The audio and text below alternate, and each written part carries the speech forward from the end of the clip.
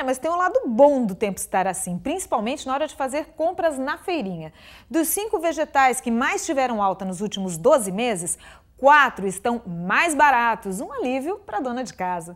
O frio, ah, o frio.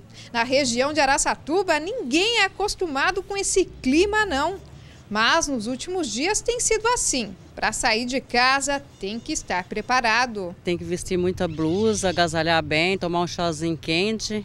Tem que pôr cachecol, tudo que tiver em casa tem que pôr, porque nem sei nem quantos graus tá fazendo hoje.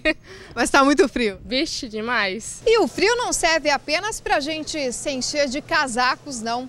As baixas temperaturas também influenciam nos preços dos alimentos. Em relação a alguns legumes e frutas, essa influência é positiva. Os destaques são para o limão, encontrado neste supermercado a R$ 2,48 o quilo.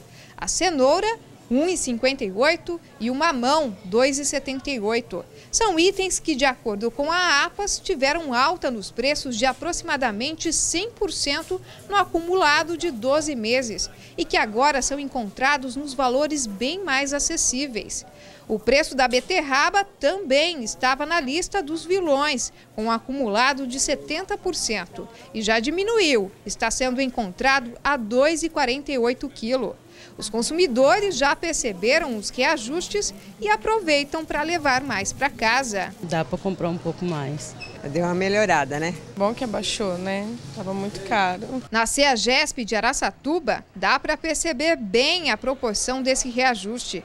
A caixa do limão, que estava custando R$ 72,00 na semana passada, agora está R$ 52,00. A caixa da cenoura passou de R$ 40,00 para R$ 25,00 e a de mamão formosa passou de R$ 13,30 para R$ 2,80. O encarregado da companhia explica essa oscilação nos valores. O consumo agora no fio são de é, produtos típicos da, da, da, do clima, né? A cenoura, a mandioca, o chuchu, esses produtos são mais procurados agora para fazer essas comidas refogadas.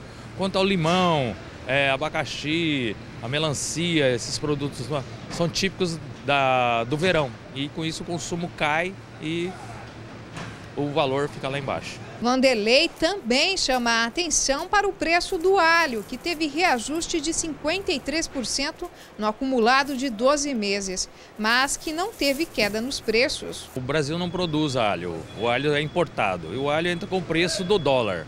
E a oscilação do dólar faz com que ele baixe, suba. Então, é, como vem de fora, o preço não se manteve ou, pelo contrário, se elevou. A última vez eu paguei 18 real, ainda achei caro.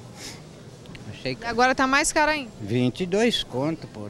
Dá dois e pouco cada 100 gramas. Para este dono de um estabelecimento comercial que trabalha com a venda de sucos, o momento é de aproveitar os bons preços, já que há um tempo atrás foi preciso investir em promoções para não perder a clientela.